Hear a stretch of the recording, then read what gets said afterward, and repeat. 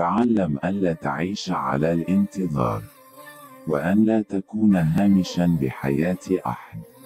تعلم أن تتجاهل مشاعرك واستوعب أن لا أحد يدوم لأحد.